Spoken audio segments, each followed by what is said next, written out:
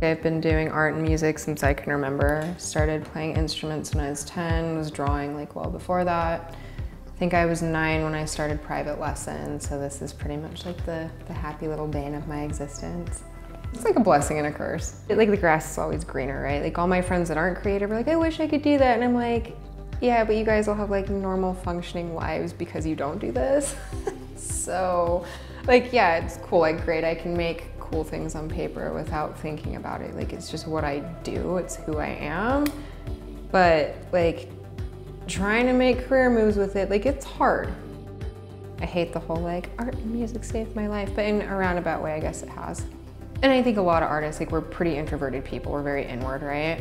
But it was beyond that, like I was like legitimately just socially broken. Like I did not feel comfortable talking to people. I didn't make eye contact for like a really long time. I like literally just didn't want anything to do with people. I wanted to be left alone in my bedroom with my devices, like period. There were definitely dark days, you know, and I used to never want to talk about that because I don't want anyone to feel bad for me. It's not like a, oh my God, I'm so sorry you lived a life like that. Like I, that's how I wanted it to be. And you kind of get used to like being okay with that darkness. And I think to some degree it's appropriate. And then there's sometimes where it's like, no, I need a little sunshine, just a little bit. It comes from like a place in your soul. And if this is what my soul looks like, I guess sometimes like it's a little sad. I'm, I tend to be drawn to like very melancholy things. I just like accept the fact that I'm a little strange. Like, it's fine. and like socially awkward and I'm like, just leave me alone with my paint brushes. so. A coworker one day I had like a piece that I had painted for a kid I was dating at the time in my back seat to take it to him for a birthday gift after work and she was like, where did you get that? And I like very like uncomfortably was like, I did it. And she like got really mad at me. She was like, you're a great stylist, but why aren't you like, why aren't you doing this?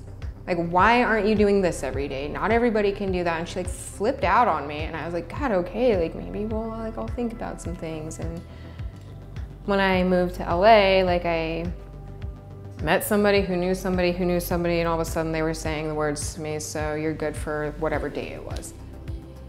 And I was like, good for what? And they're like, to show your work. And I was like, oh no. I was like, I don't want to do that. And they're like, no, it'll be really chill. It's a group show.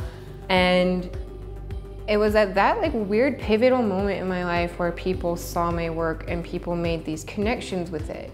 These people who are making these really intimate emotional connections with my work saying it reminds them of something or it makes them feel better and all these things and I that's a really big part of who I am as a person. You know, I've always been really, really empathetic and I think it has to do with being like that sensitive artist thing or whatever, but to me it made a big difference to know that even though my body of work isn't for everybody, if it touches that one person and it helps them heal, then that's important. So yes, I do think the world needs that whole renaissance lifestyle of like art and music. it, it is therapeutic for a lot of people.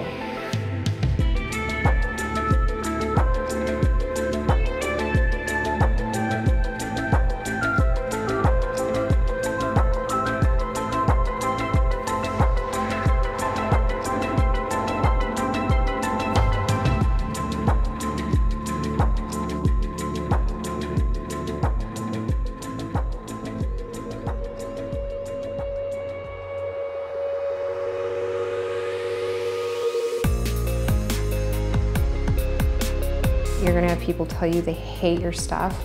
You have to be able to just shut people down and be like, okay, if you don't like it, then it's not for you. But then you'll get that one person that literally comes to you in tears and is like, thank you for doing this, it changed my life. And that's like the only reason I still do this.